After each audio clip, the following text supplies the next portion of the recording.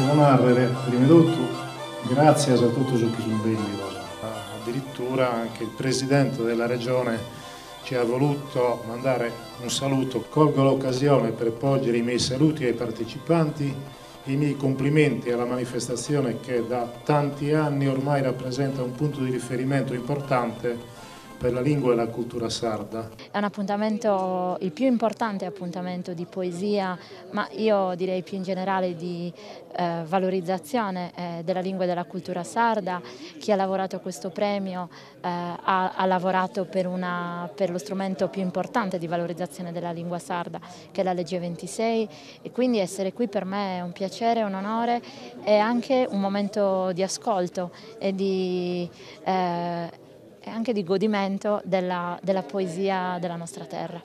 Sembra impossibile, un miracolo, che si possa raccogliere un convivio così qualificato, così grande, così rappresentativo di artisti e di poeti. Sembra inimmaginabile. A penso a sarebbe lì a Kudara e Sabisera, Saravicchina tua e Mamutone. Un miracolo lo definisce il sindaco di Ozieri l'insieme dei tanti studiosi, esperti ed artisti che si prendono cura della nostra lingua, la correggono, la fanno evolvere e la fanno rivivere in prose e poesie.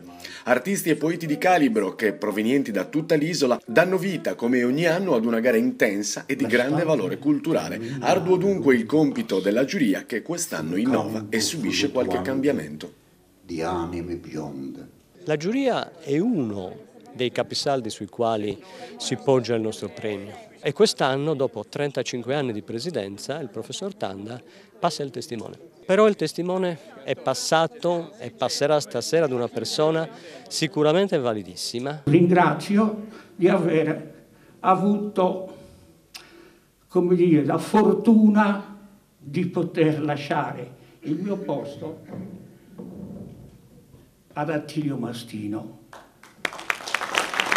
E mi basta solo questo.